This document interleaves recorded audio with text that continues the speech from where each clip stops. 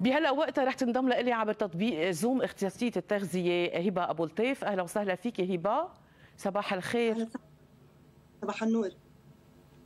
شايفتينا منيح؟ إيه مزبوط. هلا هلا عم شوفك صح. هبة اليوم رح نحكي عن أهمية ال diet.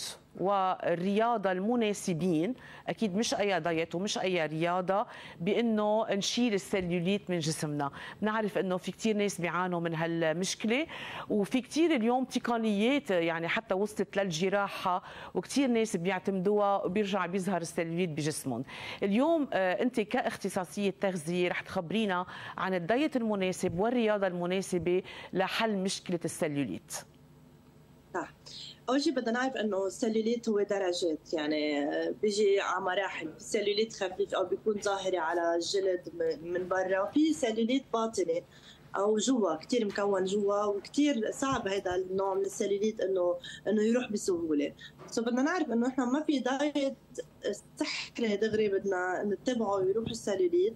لا في طريقة حياة و diet معين نتبعه على فترة بخفف من تزايد السلوليت إذا كان السلوليت بعده بالمراحل الأولى أو بال level الاولانيات ممكن يروح. إذا كان السلوليت باطني بده فترة. ما عدنا عم نسمعك منيح هبه بس أكيد. هلأ عم نسمعك. okay. هبه بدي أرجع أقول كنت عم إيه. تحكي إنه هو أسلوب حياة آه، ما في شيء مثل السحر. فإذا فينا نكون كمان آه، إذا عارفين عنا استعداد للسلوليت يكون عم نتبع كمان نظام رياضي وغذائي للوقاية. هل هالشيء صحيح؟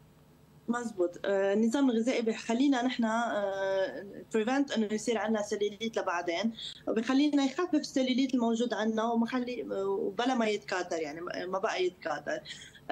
so نحن بدنا نتبعهم مع بعض الرياضة مع الأكل مع إذا بدك شوية machine ومساجات ليساعد نعم. كمان الجسم. تيروح السلوليت completely خلينا so, نبلش بال diet. خلينا نبلش نحكي بالتفاصيل. شو هو هال diet؟ شو هي هالمأكولات؟ وأي أنواع رياضة؟ صح آه، أول شيء بنبلش بال diet بنفكر بال diet بنعلي نوع. انواع البروتينات. so بناخذ diet high شوي high in protein شوي آه، وبنخفف النشويات فيه. بنخفف المأكولات اللي بتعمل ممكن تساعدنا تزيد ال inflammation بجسمنا. so بنخفف المشتقات الحليب بنخفف الطحين أو الجلوتين. مش ضروري نقطعه completely بس بنخفف منه. وأكيد بدنا نخفف ونقطع completely السكريات والمقالي دهون المشبعه لأنه أكثر شيء بيساعدوا السلوليت إنه يتجمع ويزيد.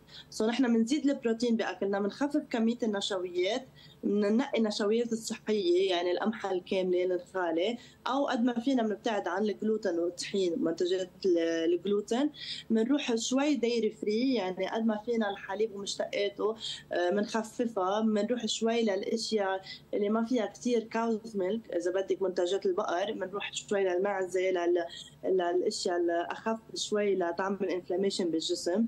بنشرب كثير سوائل يعني كثير عم بحكي من لترين ل 3 لتر بالنهار بنضلنا hydrated كل الوقت لتضل الجلد تبعولنا hydrated ونساعد بس تقولي هبة سوائل لازم نحددها لأنه بعض الناس بيعتبروا ال soft drink هو من السوائل أو النسكافيه والقهوة والكافيين.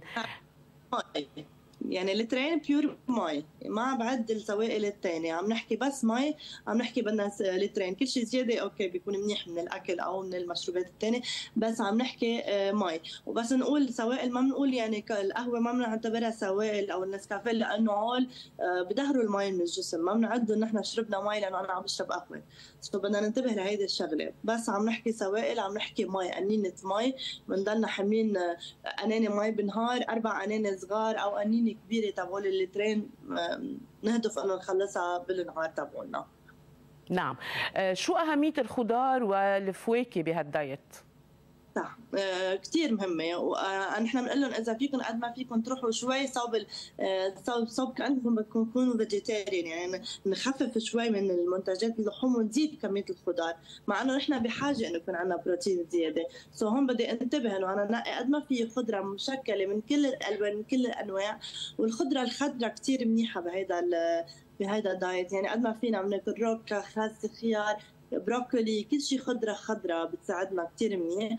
so بنزيد خضرة قد ما فينا على كل وجبة بده يكون في داخلنا خضرة. آه ونضلنا ناكل سلاد ونضلنا ناكل ناكل الخضرة بكل ألوانها يعني قد ما فينا نشكل من كل الألوان والفواكه كمان. so هول الاشياء كثير بينفعونا بيساعدونا الجلد تبعولنا وبيخففوا لنا من إنه يتكاثر السلوليت تبعنا نعم.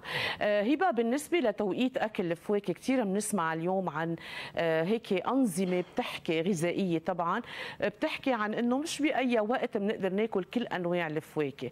هل في توقيت معين ممكن كمان يساهم بزيادة السلوليت؟ آه، ماجي في كتير دراسات عم يعملوها أو إنه أنظمة عم تطلع ترند إنه الفواكه بدنا ناكلها بالتدريج. حتى بي حتى عم بيحكوا إنه بالتدريج بدنا ناخذ الوجبة تبعولنا. لما ناكل الرز بنرجع بناكل اللحمة. بالتدريج ما بناكلهم سوا.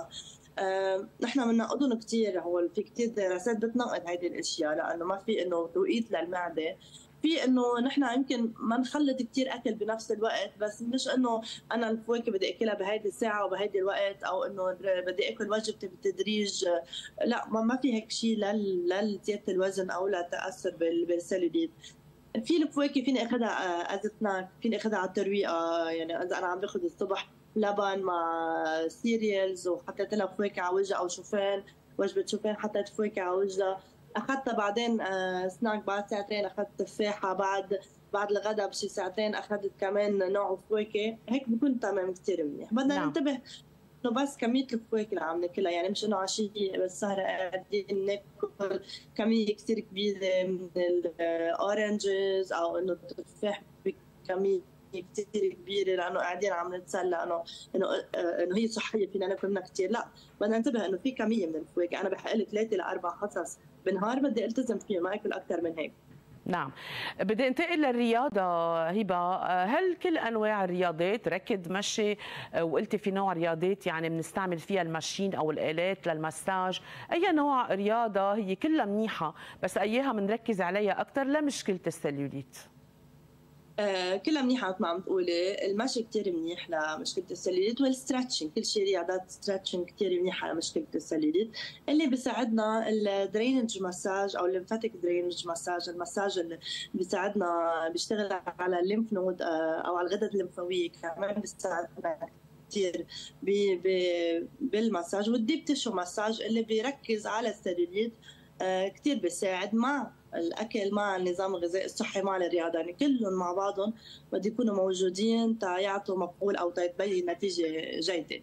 so, so, بدي ركز على أنواع الرياضة cardio بالأسبوع بيرجع كمان stretching exercise قد ما فينا يعني مرق ثلاث مرات stretching ثلاث مرات cardio ونمرق مساج على القليلة مثلا مرة بالأسبوع. والمساج okay إذا ما, قادرين نعمل مساج أو نروح لعند أخصائي فينا نشوف نحن على اليوتيوب نحضر إشياء كيف فينا نحن نساعد حالنا وين نحن لازم نركز على الجلد تبعنا وين لازم نكبس وين لازم نعمل مساج بإيدينا. سو so فينا نحضرهم إشياء موجودة على الإنترنت فينا نحن نساعد حالنا. مش ضروري نزور أخصائي أو نتكلف كثير بالمصاري صحيح. هالنوع من المساجات هبه آه، بتغني عن آه، آه، شفط الدهون يعني لأنه أوقات كمان شفنا مشاكل بيعانوها هالناس من بعد شفط الدهون من أمكنة محددة. بتظهر هالسلوليت بأماكن ثانية فإذا ما في غنى عن يلي عم تحكيه. مزبوط لأنه مثل ما عم تحكي حضرتك شفط الدهون بنشفط من ميلة بتتكتر بميلة ثانية نحن بنشفط الدهون بس ما عم نموت خلايا الدهون لأنه يعني ما عم ما عم نخليها نزيلها من جسمنا بس عم نغير لها إذا بدك relocation بالجسم. وبنفس الوقت كيف بصير لما نعمل diet كثير كثير قاسي خليه الدهون بتصغر بتعمل shrinking أو بتصغر بالحجم بس ما بتموت. so نحن بدنا نهدف إنه إحنا نشيل هالخلايا من الجسم نزيلها من الجسم.